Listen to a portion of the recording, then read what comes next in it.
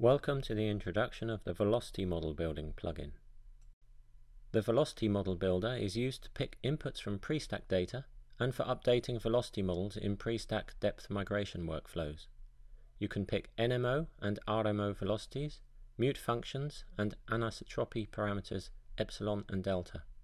Furthermore, you can pick pre-stack events to feed tomographic velocity update algorithms. VMB supports two modules, there is the vertical update module, in which you can pick on gathers and semblances, and there is the horizon consistent module, where you can pick on semblances and gathers along a mapped horizon.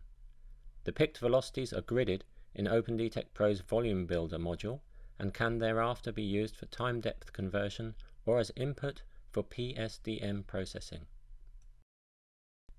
This is the vertical update module. At the moment, we are in the mode of picking our RMO velocities. We pick on semblances, we QC our picks, and we jump to the next gather n steps away and repeat the process.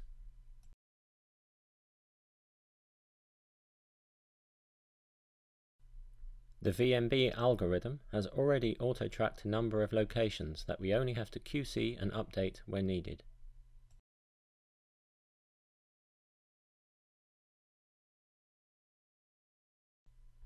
This is the Horizon Consistent Update module. At the top, we see a seismic section with a target horizon. Below that, we see the seismic flattened around the target horizon. The bottom two displays are selected semblances and gathers.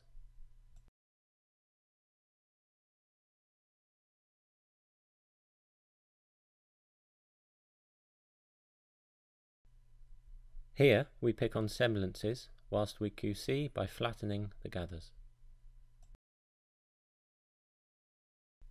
For more information or to request a demo license, please contact DGB Earth Sciences at info at dgbes.com.